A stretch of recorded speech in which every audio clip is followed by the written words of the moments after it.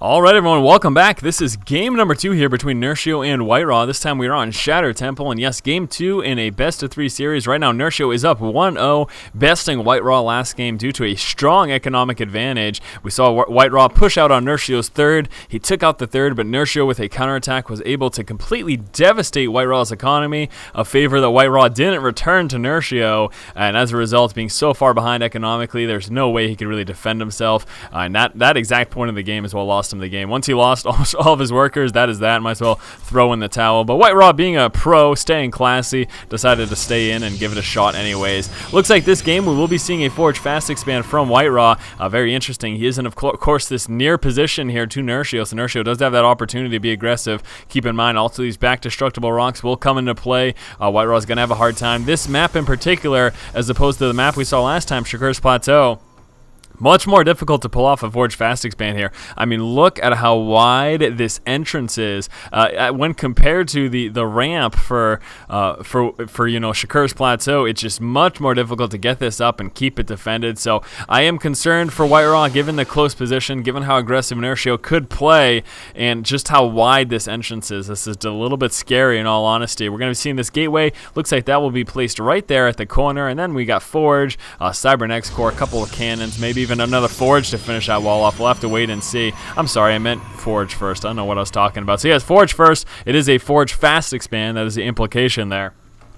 Nerchio opening up pool first, and let's see when he gets his scouting done. There it is, so Nerchio now knows what's going on, immediately dropping that extractor there as well. And again, I will be very interested to see, given the fact that he's in close positions, how he decides to play this out. He can try to push into a little bit of a macro game, but we do have to keep in mind it's going to be difficult for Nerchio to move into a third, and that's pretty scary as a Zerg player, so you really need to be aggressive early, especially if that Protoss is going to Forge Fast Expand, making him a little more vulnerable early earlier on in the game. So let's again keep a close eye as to what Nerchio decides to do. We've got those first two Zerglings. There is the Queen. One big thing too is he needs to stop WhiteRa from scouting him out. He will want Zerglings positioned over here to stop any secondary scoutings, uh, maybe even possibly not expand and make WhiteRa think he has expanded and then push out super aggressive. But there's the Roach Warren already. I expected that and beautiful play there. Checking the corner for that probe. He wants to make sure that WhiteRa does not see this. He does not want WhiteRa to see that this push is coming right now. So here we go. Probe dropping the proxy pylon, trying to delay that expansion.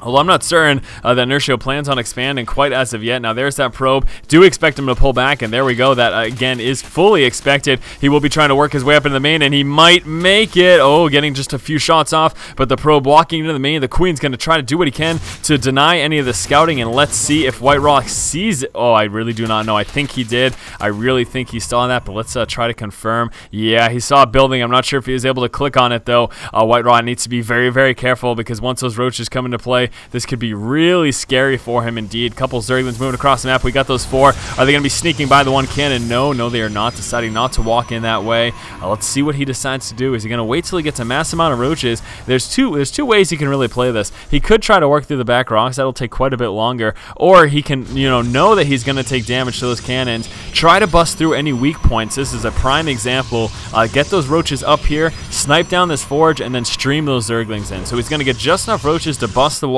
and then use those Zerglings to just mess up WhiteRa. That's going to be his plan. Really going to come down to how WhiteRa is able to defend, as we can see, uh, not getting up his expansion until now, just investing so much into this initial early push take a look here. We've got six roaches in play right now. The three speedlings, um, army supply, obviously huge advantage. WhiteRa's got absolutely nothing, and he can actually sneak right by because the wall isn't complete. So Roaches walking right up into the expo.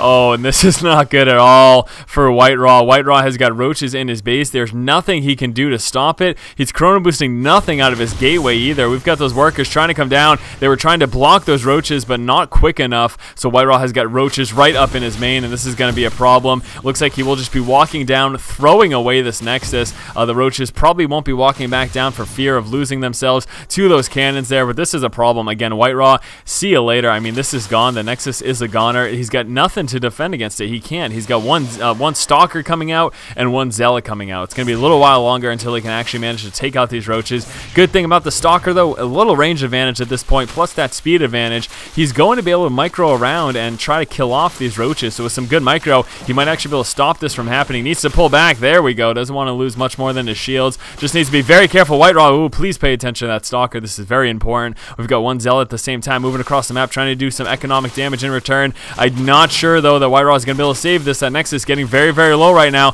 trying to move back and forth and target fire down those Stalkers. Back over here, one Zealot. There's a second Zealot as well. We'll be trying to do some economic damage, trying to stay away from those roaches. Be careful. Ooh, very close, WhiteRa. That Stalker is getting very low. There, the Zealot's taking out the Queen. We'll start to work on those drones as well, and the Stalker pulling back just at the right time.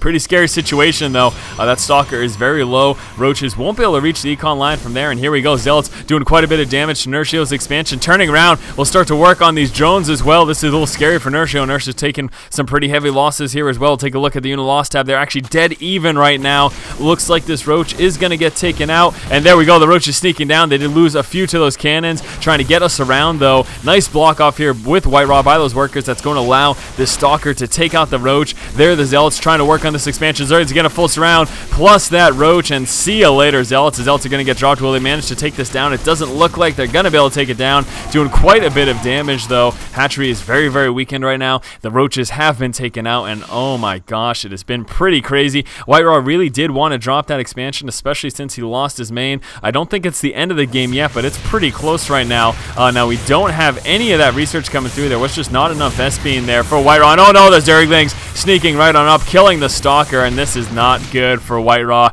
Uh, this, if he could have defended himself from that point forward, I really wish that he just put down another building for that block off instead of putting up that Stalker. That could have saved him here, but it's looking like he might be losing this Nexus. He's got a few more units coming through. Does have a worker sitting over there as well, but here we go. Nerchio still has the base up, and WhiteRa going to be losing this. He's trying to engage those as much as possible, uh, but just microing back. He needs to wait actually until he gets a Zealot or two in here.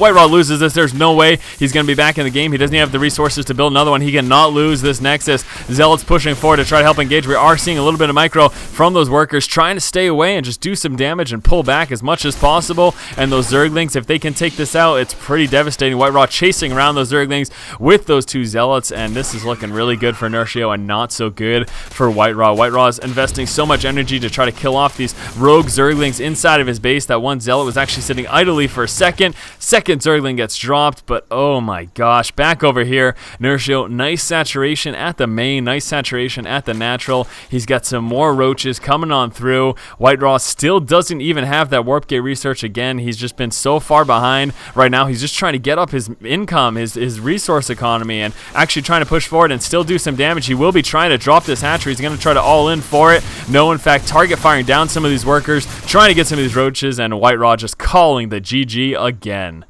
WhiteRa opened up with Forge Fast Expand this game, however, that proves to be pretty risky on this map with such a wide, wide choke point into your natural expansion. In addition, we had his opponent, Nerchio, in a close position. Realizing how vulnerable WhiteRa was, we did see an early game Roach attack with a few Zerglings in the mix as well from Nerchio. He was able to walk right on into WhiteRa's base because he did not have that wall off complete, and this was a big problem. These Roaches in his base so early on proved to be very detrimental to WhiteRa. With Roaches inside of WhiteRa's base, Nerchio target fired down and killed WhiteRa's main Nexus. At the same time, WhiteRa pushed out with a couple of Zealots and used those to harass Nerchio's expansion. However, he, although he was able to do a bit of damage, he didn't actually take out the hatchery, and this is why Nerchio was in a solid position because Nerchio killing off WhiteRa's main Nexus and saving his natural expansion hatchery uh, put him quite a bit ahead. WhiteRa eventually killed off the roaches in his main, however we immediately saw a Speedling counterattack and WhiteRa not with that full wall off and just that Stalker, it got taken out immediately. This allowed Nerchio to sneak Zerglings right on into the expansion and continue, continue to disrupt WhiteRa's economy and this forced the GG. Alright guys, thank you so much for watching. Looks like Nerchio does win this best of 3 series 2-0. Hopefully you guys have enjoyed this commentary. As always, if you like the content, please subscribe to the channel. Thank you so much for watching, and as always, keep watching and keep owning.